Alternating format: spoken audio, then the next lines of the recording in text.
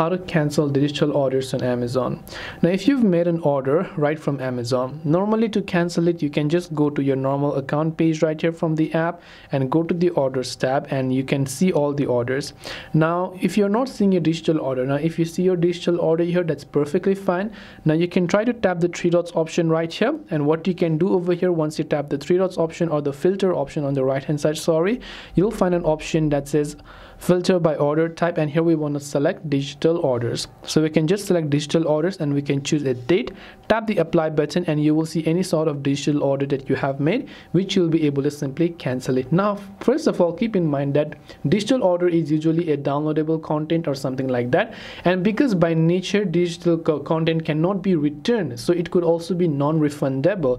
Now if you've already uh, received the order instantly in that case it is not refundable at all because by nature only digital orders can be downloaded on your phone or on your computer. You must have saved a certain pdf or whatever the digital order was.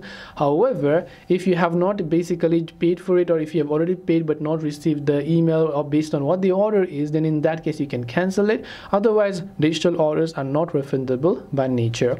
I hope that this video made it pretty much clear for you. If you have got any further questions feel free to leave them down below. Thank you for watching till the very end of this tutorial and see you soon in the next video